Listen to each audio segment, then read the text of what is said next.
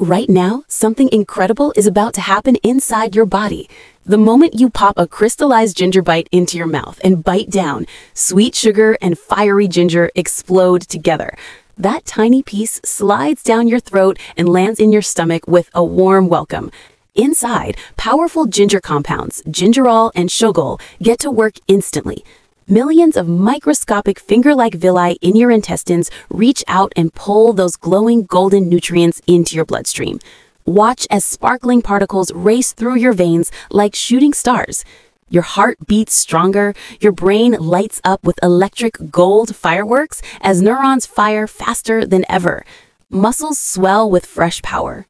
Deep in your gut, trillions of good bacteria glow happily. Ginger calms inflammation and feeds your microbiome. In seconds, a wave of clean, natural energy surges from your core, radiating through every cell. No jitters, no crash, just pure vitality. But there's another side. Eat too many at once, and your stomach lining can turn angry red. Some feel heartburn as ginger and sugar splash upward. The sugar coating sends blood glucose skyrocketing in a glittering storm.